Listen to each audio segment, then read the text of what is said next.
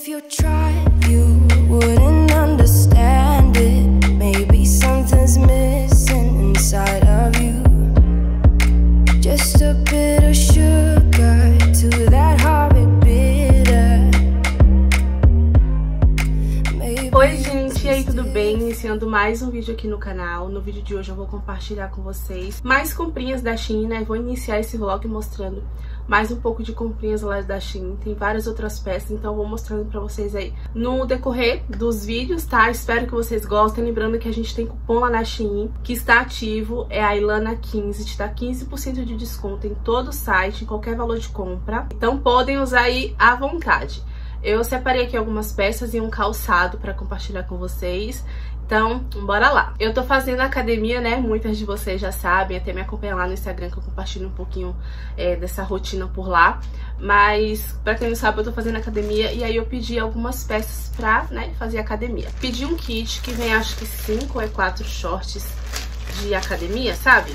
São quatro. Esse kit tem várias cores e aí eu escolhi a que vem o preto, e eu escolhi ele mais comprido, sabe? Porque tem ele mais curto e ele mais comprido. Eu gosto do mais comprido, principalmente pra quando eu for malhar a perna, sabe? Que aí tem uns aparelhos que você fica com a perna pra cima e tal. Eu prefiro o short mais é, comprido, eu me sinto mais confortável assim. Short, ó, é daquele que é, dizem que empina o bumbum e tal. Então é esse aqui. Eu gostei bastante da qualidade dele. Eu pedi no tamanho L. Aí vem esse cinza aqui, mesclado. Aí vem esse lilás, ó que lindo esse, gente.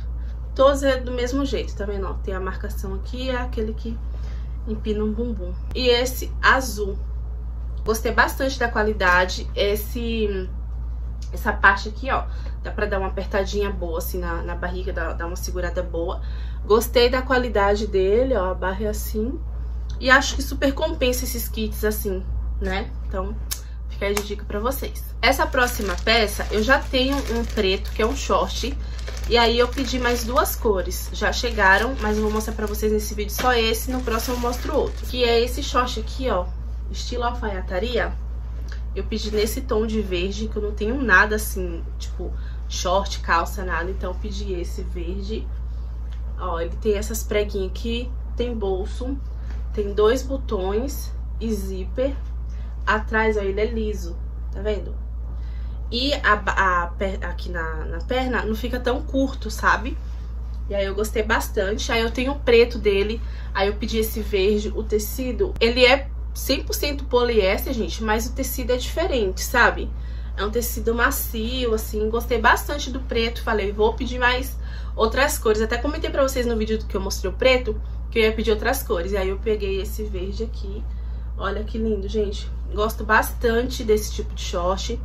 Esse aqui é o tamanho XL, ele fica super confortável, pra... gostei muito, por isso que eu peguei essa cor verde. Próximo item eu vou mostrar aqui pra vocês o calçado, que inclusive eu já usei muito. Ele vem assim, ó, dentro dessa caixinha, tá? Olhem só que mule lindo! Desse mule aqui tem duas cores, tem esse branco e tem o preto. Só que eu tenho muito calçado preto, sabe? Falei, ah, vou pedir um branco pra diferenciar. E sério, eu tô apaixonada. Já usei horrores, mas ele é muito bom, super confortável, ficou ótimo no meu pé. Ele é assim, ó, com essa... Ai, não sei falar, nesse estilo assim. E aí, ó, aqui na ponta ele é assim, tem esse detalhe aqui da fivelinha no dourado. Extremamente confortável, gente. Eu amei, fica muito lindinho. Combina assim com tudo, sabe? Com calça, com short, com vestido. Eu gosto bastante de usar com short. Olha que lindo que ele é. E ele é um é um off-white ou é branco? Acho que ele não chega a ser branco, branco. Ele é um pouco off-white, sabe? Super confortável, não é um, um, um mule é, pesado. E ele não é aquele mule tradicional, sabe? Ele é um mule mais descolado, a, a ponta arredondada, com esses detalhes. Então, eu gostei bastante. Aí na lateral ele é todo assim também, ó. E tem um saltinho, tá vendo? O meu tamanho é o 40, né? Sempre falo pra vocês é, porque equivale ao 37 aqui no Brasil. E eu é, vi lá as especificações à medida, que geralmente mule ele tem que ficar, né, um, sobrando assim um pouquinho no pé, pro calcanhar não ficar pra fora. E deu certinho, gente. Ficou ótimo e eu amei. Amei, amei, amei. Sério, acho que eu vou pedir o preto também, viu? Porque é muito lindo e super confortável, versátil, combina assim com tudo. O próximo também eu pedi com o intuito de usar na academia, e é isso que eu tô fazendo, que é esse conjunto aqui, gente. Eu vi bastante pessoas comprando dele. É um camisetão, ó, bem grande, bem folgado, do jeito que eu gosto pra usar na academia. Aí aqui na frente tá escrito Brooklyn. E o short, que também é compridinho, então eu amei, ó. E aí na perna também tá escrito New York. Ele é 100% poliéster, mas eu achei o tecido gostosinho assim, sabe? Não achei que esquenta muito, não. Tenho, eu pedi um outro, que eu vou mostrar pra vocês mais pra frente. O outro eu já usei e esquenta assim horrores. Esse aqui não esquenta muito, não. Mas o outro esquenta mais. E é assim, soltinho, gente. Sério, eu amei demais. Eu pedi no tamanho M, tá? Porque é, se eu fosse pegar o G ou o GG, ia ficar muito larga a camisa. Então eu peguei no tamanho M e assim ficou maravilhoso. O shortinho também deu, ele tem elástico, ó. Então super deu pra mim esse tamanho M nesse conjuntinho. E por fim, essa blusinha aqui, que é da marca Daisy, tá? Eu tenho várias blusas da Daisy, inclusive essa aqui, se eu não me engano, é da Daisy. A Daisy, ela tem um tamanho um pouco menor, mas eu sempre olho lá, né, se dá referente ao meu busto, porque eu tenho mais peito, né? Então, deu no meu busto, vai dar no restante. E aí eu pedi essa. Eu já sinto que essa aqui é quente mesmo, tá vendo? Dá pra ver até daí. Mas, pra um dia mais ameno assim, dá pra usar super. E aí, ela é assim, ó, de botão, essa lista preta botão que não abre, tá? Ó, é só de enfeite mesmo. E aí tem esse detalhe tipo crochê, ó, por ela toda aqui na frente, ó, gola e desce até onde tem um botão. Eu acho super arrumadinha essas blusinhas pra usar com shortinho de alfaiataria, com short jeans, com uma calça. Eu acho que super versátil, fica bem arrumadinho, bem bonitinho. E eu gostei, gente. Peguei no tamanho L da Daisy, com certeza vai dar, ó, porque ela é super folgadinha. E eu gostei. Achei super arrumadinha. Ela é um off-white, tá vendo? Ó o tecido aí pra vocês verem. Ela é um off-white e eu gostei bastante. Agora eu vou mostrar pra vocês no corpo como que ficou.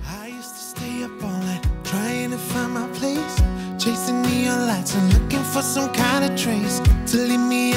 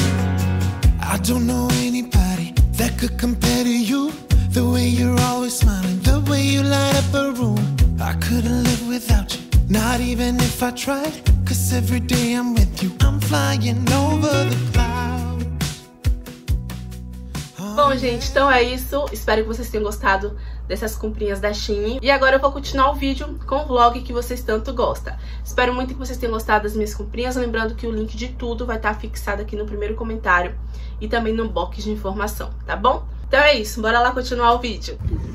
Você tá indo pra onde, filhinha? escola, né? Hã? Eu vou falar tá morta, vida.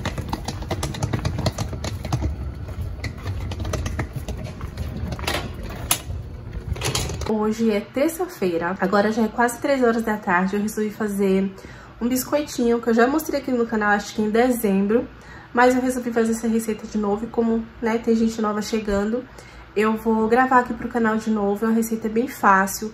Esse biscoitinho assim a minha mãe sempre faz e toda vez que eu vou na Bahia a gente faz juntas. Inclusive na última viagem que a gente fez lá pra Bahia, eu mostrei pra vocês também fazendo, assando no fogão a lenha, sério. É muito gostoso, com cafezinho, com chá. Vale muito a pena vocês reproduzirem aí também, tá? E a receita é bem fácil, não tem mistério. Já separei aqui os poucos ingredientes e vocês vão ver como que é fácil. Espero que vocês gostem. Bora lá. Como eu falei pra vocês, ó, já separei aqui os ingredientes. A minha bancada tá limpa, tá sem louça aqui na pia. A tarde hoje tá super tranquila, né? A Manu tá na escola, a casa tá organizada. Eu falei, ah, vou fazer um biscoitinho pra acompanhar o meu cafezinho da tarde, que vocês sabem que não pode faltar, né? Então eu vou falar aqui pra vocês os ingredientes. 250 gramas de margarina, ou pode ser manteiga também, tá? Uma colher de sopa de fermento. Na última receita que eu mostrei pra vocês, que foi em dezembro, eu não usei fermento porque eu não tinha.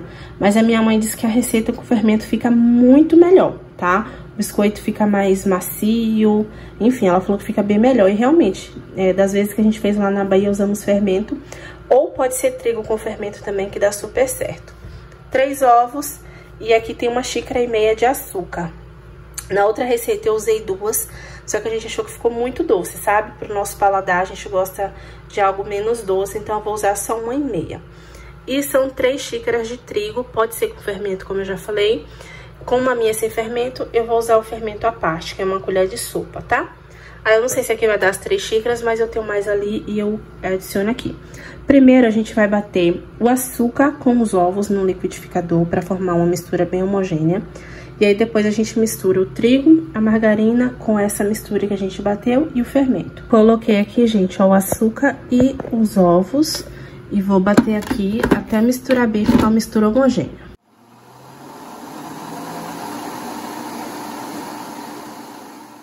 Deixei batendo, gente, por uns dois minutos e, ó, a mistura como fica. Fica bem homogênea. Agora a gente coloca isso aqui no recipiente e adiciona o restante dos ingredientes. Coloquei aqui, ó, fica assim, tá vendo? Homogêneo. Deixei bater para o açúcar derreter e ficar essa mistura bem homogênea. Agora a gente vai adicionar as três xícaras de trigo, a margarina e o fermento. Coloquei aqui, ó, as três xícaras de trigo, tá? O fermento e a margarina. Aí eu tô misturando aqui com essa espátula, mas já tem que colocar a mão na massa mesmo, porque a massa já fica um pouquinho mais pesada.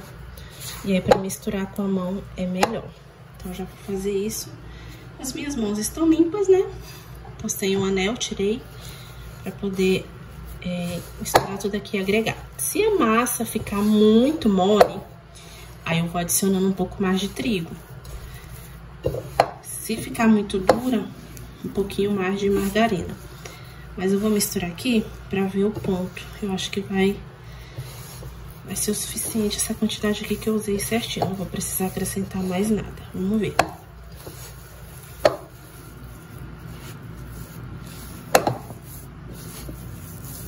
Deixa eu mostrar o ponto da massa pra vocês. Ela tá um pouquinho grudando, mas assim, a hora que eu passo pra outra mão que tá limpa, ó, ela não gruda, tá vendo?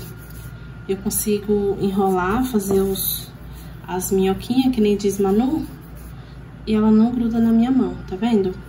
Se você vê que tá grudando muito, aí você pode pegar assim, ó, vou até pegar um pouquinho aqui, ó, punhadinho assim, ó, de trigo, e pôr, mas não exagera no trigo, porque senão fica muito, muito duro, sabe? A massa, o biscoito depois fica muito duro. A ideia é que fica um pouco amanteigada mesmo, pra ela desmanchar na boca, sabe? Ficar bem crocantinha a massa. Então, aqui pra mim já tá bom. Vou começar a modelar. Eu já untei as minhas formas. Vou enfarinhar ali, porque eu só passei margarina. E fazer as cobrinhas. Você pode fazer, assim, bolinhas, ó. Mas eu acho melhor assim, sabe? Então, vou modelar agora.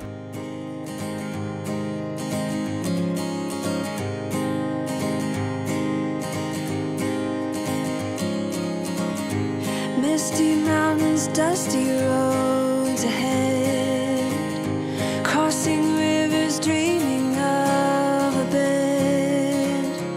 From a window in the mighty clouds up high. Tirei a primeira fornada, teve uns que dourou um pouco mais, mas o de já gosta assim, mais queimadinho, né, douradinho. Tem uns que tá mais clarinho, ó. Gente, esse aqui ficou melhor do que aquele do vídeo anterior. O fermento faz sim diferença, viu? Faz com fermento que fica bem melhor. Nossa, que delícia, ó. Muito bom. Ainda tem tudo isso aqui de massa, mas a gente dá conta.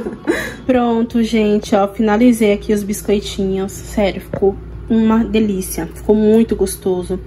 O fermento faz diferença sim, viu? Então, use fermento aí na sua receita.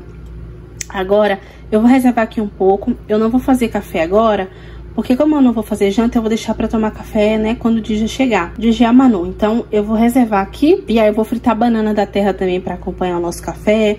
Vou fazer um cafezinho bem gostoso. Então, não vou passar o café agora. Mas, ó, tá pronto aqui. Ô, oh, delícia, viu? Ó, teve uns que dourou mais, os últimos, que eu quase esqueci. Mas o Dija, ele até gosta, assim, ó, mais douradinho. Eu também gosto mais douradinho. Mas a maioria tá assim, mais clarinho mesmo. Enfim, ficou muito bom. Gente, agora é 5h20, o dia já deve estar tá chegando com a Manu. Aí eu comecei, ó, a fritar as bananas e vou passar um café. Então, a nossa janta, né, vai ser banana da terra frita com aqueles biscoitinhos que eu fiz, tem bolacha também, enfim. Vai ser um café bem reforçado. Então já tô aqui, ó, fritando a banana da terra ou banana comprida, como muitos lugares aí conhecem, né? Esse aqui veio de lá da Bahia. Oi, gente. Hoje já é quarta-feira. Agora é 8h20. Tô indo agora pra academia. Choveu, então tá bem fresco, tá bem, assim, ventando até. Pra eu que sou um pouco friorenta, eu sinto até frio. Mas lá na academia eu aqueço, então bora lá comigo. Coloquei vocês aí na câmera pra vocês acompanharem um pouco do meu percurso. Bora lá.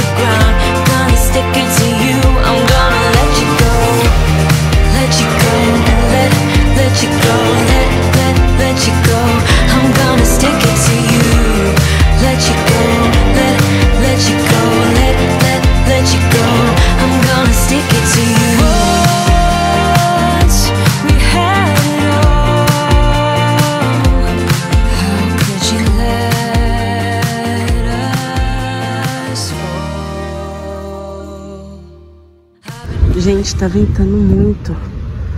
Mas eu já cheguei, ó.